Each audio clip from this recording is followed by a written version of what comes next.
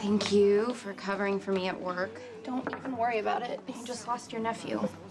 Besides, it's giving me the opportunity to score extra points with Kate. Is she ranting and raving about my absence? Stay seated for this. Kate expresses her sympathies, and there have been no threats to fire us in the last two weeks. Wow, that's nice of her. Mm-hmm. So how are you holding up? I'm a little bit on overload. Well, when you're up for it, I would like to take you for a day at the spa. Massages, facials, nails, and you better take me up on it. You know I don't like to spend money on anybody besides myself.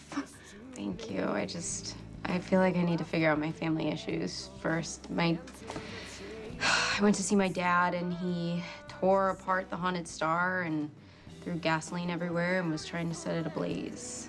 well, that's kind of scary. I mean, I cleaned it up, so I guess it derailed him or something. How's Lucky doing? Lucky's hurt and angry and looking for someone to blame. It's it's just frustrating because my dad needs him and he needs my dad and they're just stuck. So you're trying to unstick them.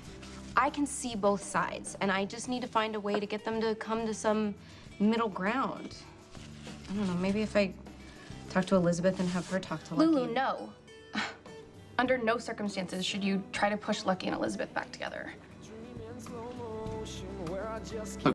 Lucky's devastated if Elizabeth can help him. It's only that- gonna make things worse.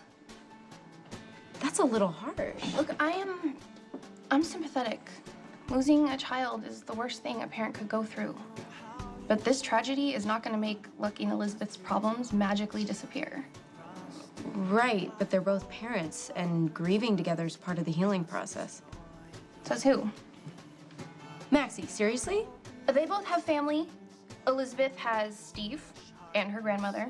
And even though Lucky is having issues with Luke, he still has you and Ethan and Nicholas and Siobhan, I Okay, guess. but Elizabeth and Lucky have known each other forever. What what why is this such a big deal? Okay, fine. Let's let's play this out.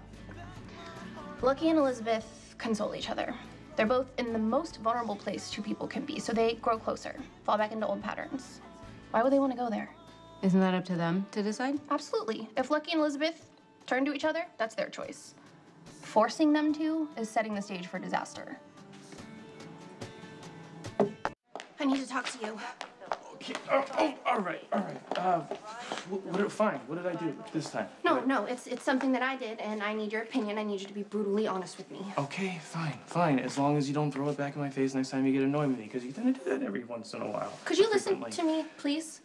Lulu thinks that Lucky is grieving so hard over Jake that he's isolating himself. She wants to encourage Elizabeth to help Lucky through this, and I, I told her I don't think it's a good idea. Okay, and, and your reason for that would be? I said some mean but true things about Elizabeth and how she treated Lucky before Jake's death, and that Jake's death didn't change that. All right, and so if, if that's what you believe, then Who am I to say what Lucky and Elizabeth should be doing? I mean, losing a child is the worst thing that could possibly happen to a person. Maybe normal rules don't apply. Maybe whatever makes a person feel better is okay, and I'm an awful person to say otherwise. Elizabeth was bad for Lucky. She cheated on him, she got knocked up with some other guy's kid twice. okay, so then Lulu maybe you shouldn't push them together. Except I'm a raging hypocrite. How's that? Well, I pulled every trick in the book to try to get Lucky to be with me. I scored him drugs, I fed his addiction so he wouldn't leave me, and when that didn't work, I faked a pregnancy, pillow and all. Wow! Wow! Wow!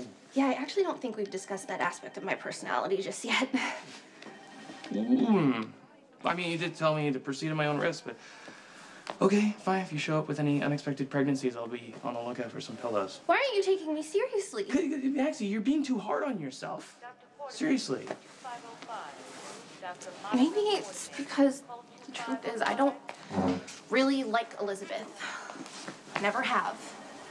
It used to bug me to no end that she would act like this perfect angel and then treat Lucky so horribly.